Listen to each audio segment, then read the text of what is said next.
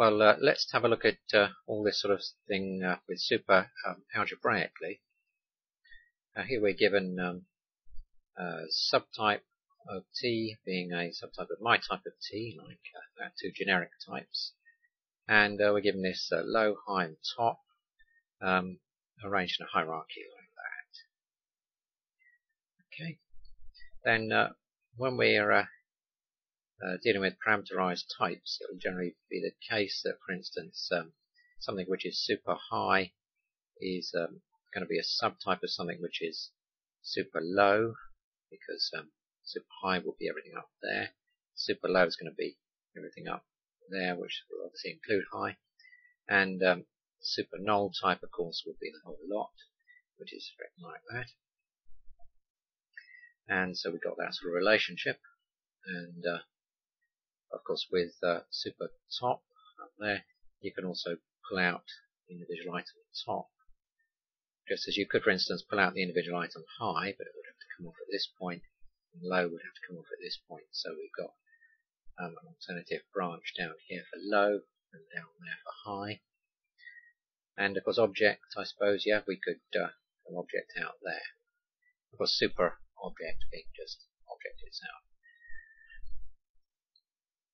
Okay, so that's the general relationship when you're using that in a parameterized, in a parameterized type. So uh, some examples. Um, uh, nice and simple. My type um, super low is going to be a subtype of my type of anything. Well, that's uh, pretty straightforward because uh, my type of, sort of anything is kind of super null type, so it's the whole lot. Low is just uh, a bit uh, subtype of something is going to be uh, subtype of my type of something. That's uh, very straightforward from that. And uh, this uh, my type of something which is super high, so it's uh, up there, is um, a subtype of my type of something which is super low, which is in up there. So it's going to include it so obviously that's true. Okay, what about um, subtype of something which is super high?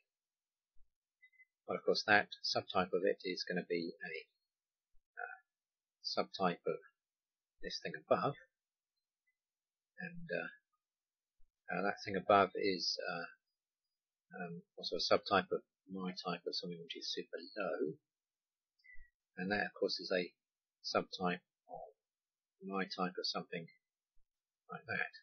So obviously putting all that together, uh, that condition will hold as well. Uh, what about this? Uh, subtype of top. Is that a subtype of my type of something which is super low? Well, if you think about it, um, subtype of top is going to be a subtype of my type of top. And um, that's going to be a subtype of my type of something which is super top, and that's going to be a subtype of my type of something which is super high. That's going to be a subtype of my type of something which is super low. So, yeah, that holds as well.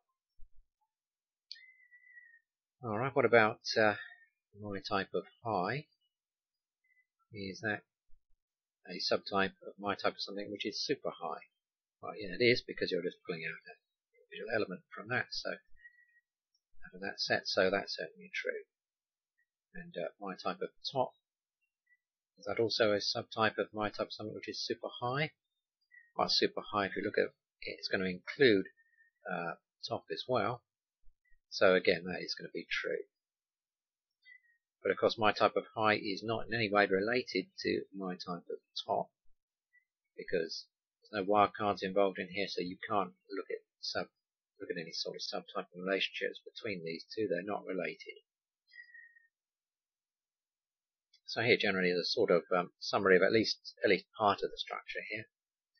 Okay, we got my type of something overly arbitrary at the top. That's going to be a super type of my type of something which is super low, and that's going to be a super type of my type of something which is super high.